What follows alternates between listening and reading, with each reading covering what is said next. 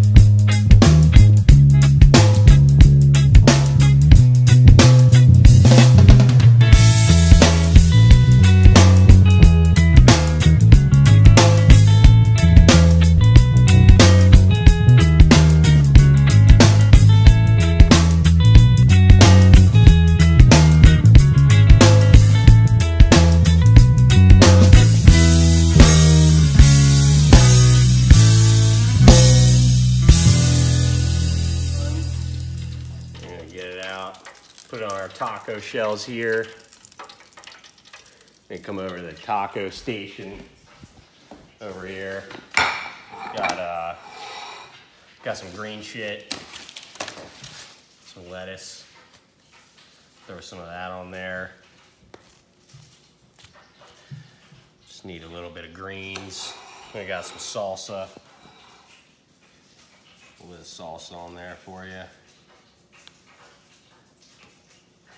You got some uh, some homemade guac I just made a little earlier.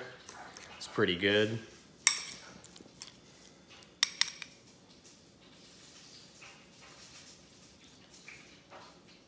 And um, yeah, that's about it for today for our um, deep fried fish tacos.